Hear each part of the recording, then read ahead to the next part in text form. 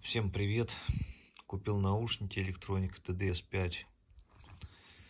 Выпуск даже не знаю, наверное, год 83-85, может быть. Вот они еще со знаком качества шли первые модели.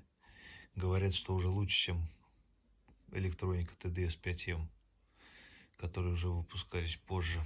Вот. Ну, амбушюры все старое, конечно. Играют они зачетно, лучше, чем мои Sennheiser 595.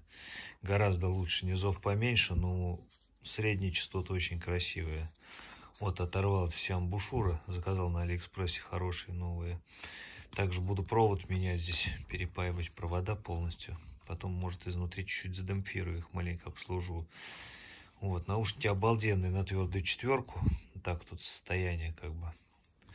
Все помою, почищу. Буду слушать как бы.